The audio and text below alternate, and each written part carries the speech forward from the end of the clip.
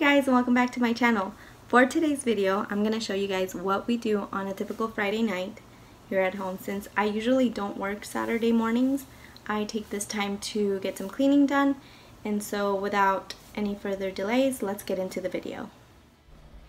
Usually when I start my cleaning routine at nighttime, I start at dinner time and so right here I'm feeding my boys and helping my oldest one with his homework.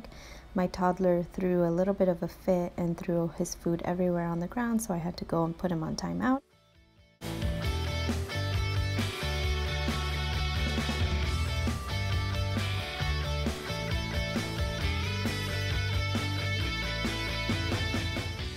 Here's after all my boys go to bed.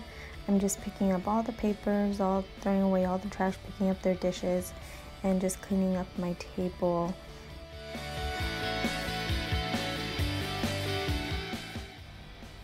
After this, I start sweeping, and I really want to get one of those Roomba bots because sweeping my whole entire house just really sucks, and I don't like doing it.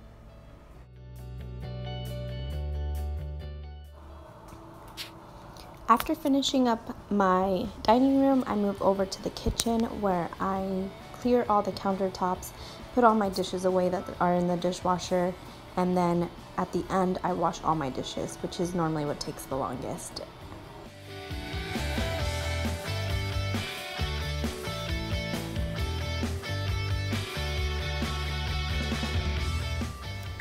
Okay you guys, so that's it for my speed cleaning routine. I hope you guys like enjoy the video. Let me know if you did. Comment down below and let me know of any cleaning hacks that you might have that might help me out. Give this video a thumbs up, subscribe for more content like this, and I will see you on my next one. Bye!